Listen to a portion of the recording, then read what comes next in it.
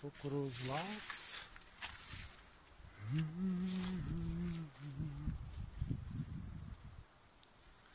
Arī mani pāraug. O, cik liels!